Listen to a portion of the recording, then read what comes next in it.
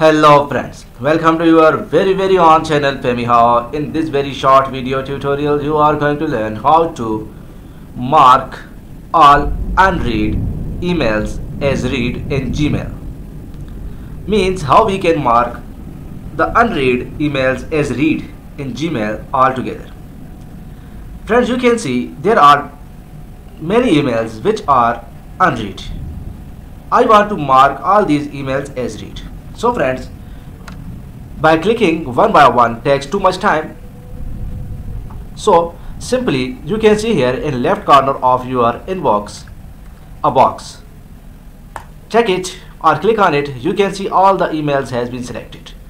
Now you can see here in an opened message symbol. Click on it. You can see all the emails has been marked as read. So friends I hope you have learned how to mark all unread emails as read in Gmail. If my video helps you in any way, please subscribe my channel and hit the like button. Thanks for watching. Thanks for your time. Take care. Goodbye.